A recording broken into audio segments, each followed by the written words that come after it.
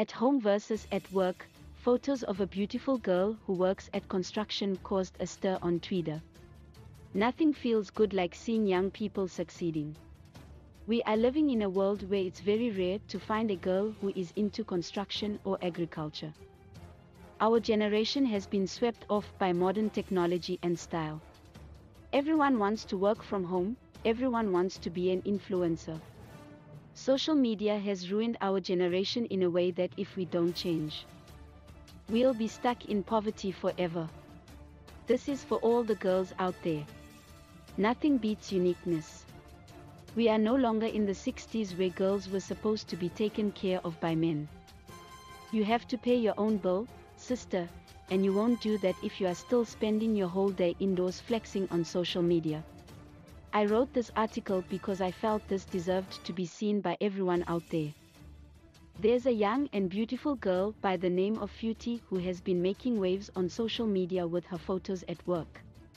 Phuti is a construction worker who is so proud of her job in a way that she always posts her photos in work suits.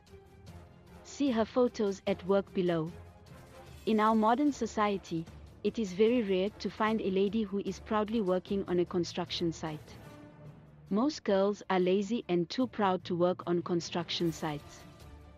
The so-called social status has shaded dreams and bright futures. Working in construction doesn't make people look down at you as a lady. Instead, we praise him for standing up and choosing not to go with the flow. Just like Phuti. Many people were left stunned after Phuti posted photos of when she's not at work. The whole social media turned upside down and men went all crazy over her beautiful photo. As black media, we've always vowed to give you the best of fashion and beauty, so today we decided to give it to you in the form of motivation. Thank you for the love and support and guidance you've shown us. We promise to always deliver quality and informative articles on fashion and beauty.